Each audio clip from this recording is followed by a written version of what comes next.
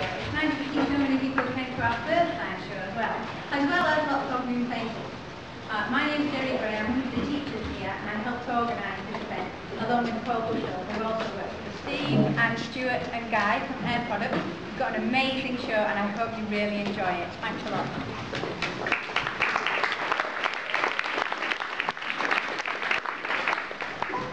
So nitrogen is at minus 196 degrees, which is incredibly cold, cooling it down nicely.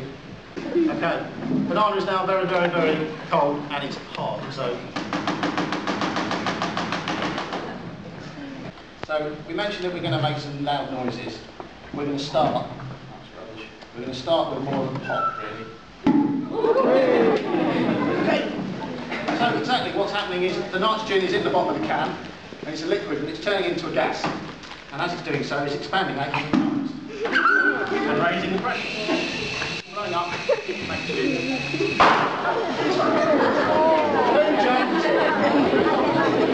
We're going to drop the ping pong ball into the warm water.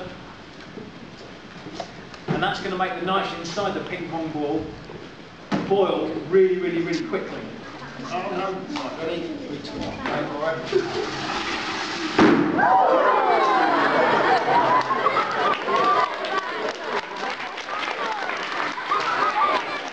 Right, got some CO2 in there.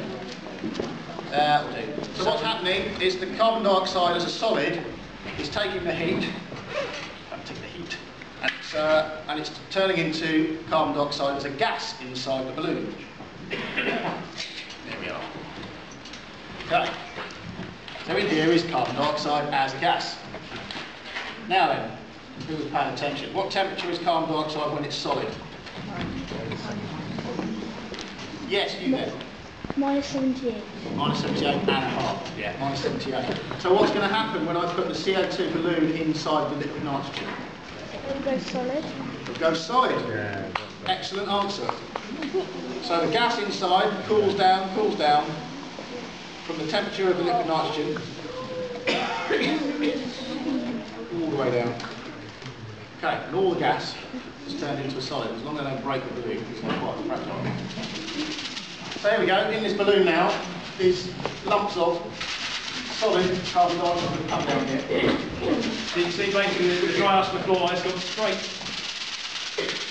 Made a rattle. into a gas. Might be see bits of uh, solid carbon dioxide in there. We have helium, or helium, helium, in, uh, in this balloon, as you can see, it's like an end here, lost it. And uh, that's because it's lighter than air at room temperature. I'm going to put this balloon in the liquid nitrogen. What's going to happen? Anybody? It's going to shrink. Now, I did mention earlier that liquid helium is at minus 279 degrees, so it's not going to turn into liquid. Thank you. That's very true. Minus 269. So it's not going to turn into a liquid, but what it has done is it's now become heavier than air when it's cold. That's it.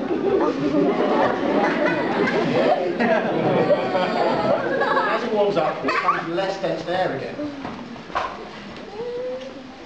So do that again. Try on. Right. So that warms up.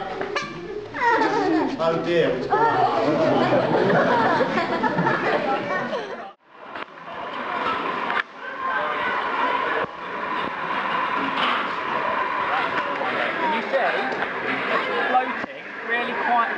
gone.